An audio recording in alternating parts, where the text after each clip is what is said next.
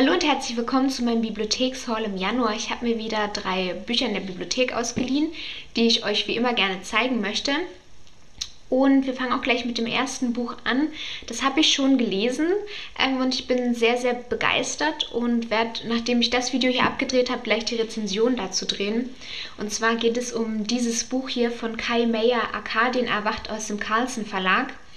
Ähm, hat mal gekostet 19,90 Euro, aber wenn ich das auf der Verlagsseite richtig gelesen habe, kostet es jetzt sogar nur noch 9,90 Euro. Ist eine relativ bekannte Fantasy-Trilogie. Ähm, gibt auch viele Fans, glaube ich, soweit ich das hier auch auf YouTube und ähm, an anderen Orten mitbekommen habe. Ähm, wer trotzdem nicht weiß, um was es geht, Schon bei ihrer Ankunft auf Sizilien fühlt sich Rosa wie in einem alten Film.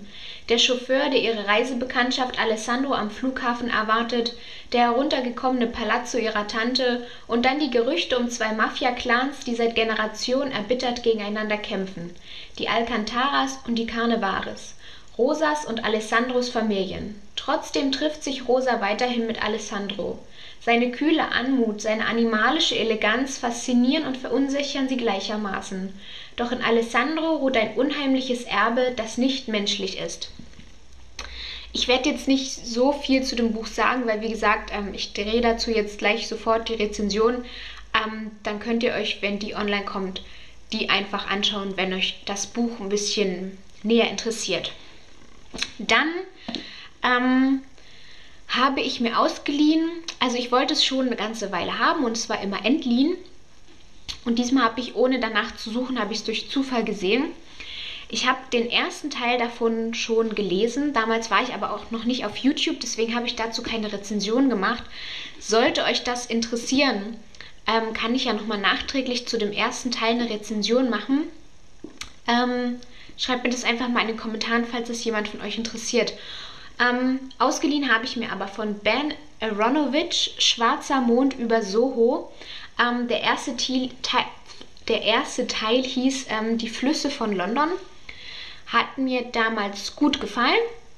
Also hat mich jetzt nicht so geflasht wie ähm, jetzt zum Beispiel Arkadien, aber hat mir sehr, sehr gut gefallen und ähm, ist mal was anderes, was Lustiges und deswegen freue ich mich auch auf den Teil hier.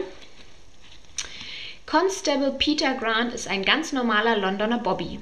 Die Abteilung, in der er arbeitet, ist allerdings alles andere als normal. Ihr Spezialgebiet ist die Magie. Eines Abends wird Peter zu der Leiche eines Jazzmusikers gerufen und findet heraus, dass in den Jazzclubs in Soho im Herzen Londons verdächtig viele Musiker eines unerwarteten Todes sterben. Hier geht etwas nicht mit rechten Dingen zu. Oder wie soll man es sonst nennen, wenn eine Leiche unüberhörbar und mit viel Swing Body and Soul spielt?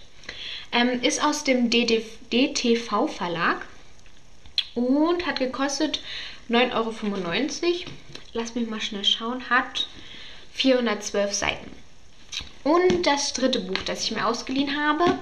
Und zwar habe ich bei Vorablesen dazu ähm, den Leseeindruck ähm, gemacht. Habe den auch für euch online gestellt, ja.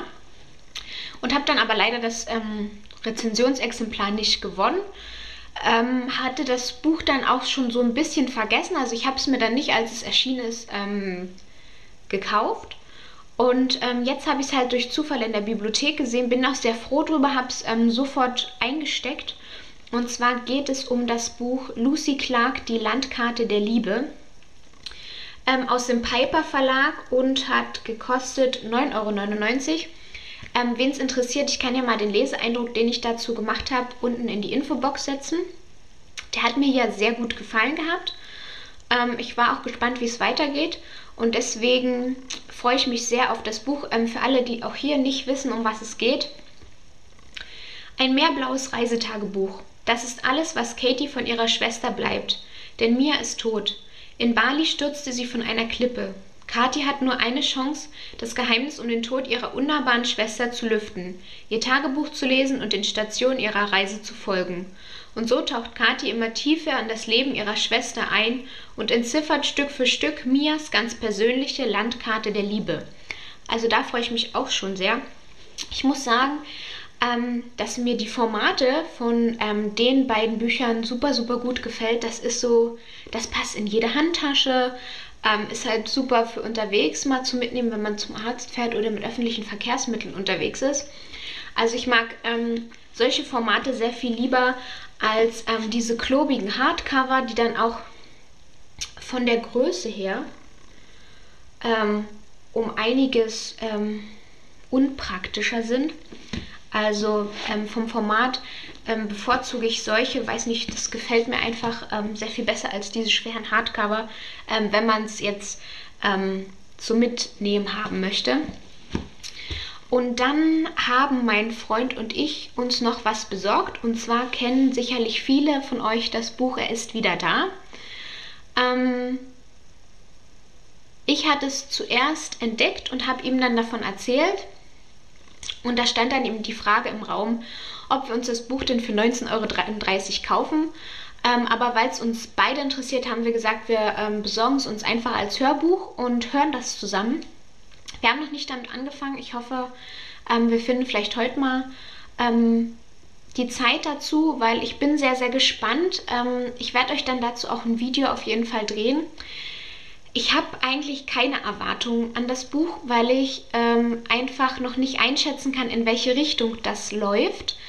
Aber ich bin sehr gespannt und werde euch dann auch wissen lassen, wie denn er ist wieder da so ist. Ja, ich hoffe, äh, mein Bibliothekshaul hat euch wieder gefallen und ähm, dann sehen wir uns ganz bald wieder bei meinem nächsten Video. Bis dahin, tschüss!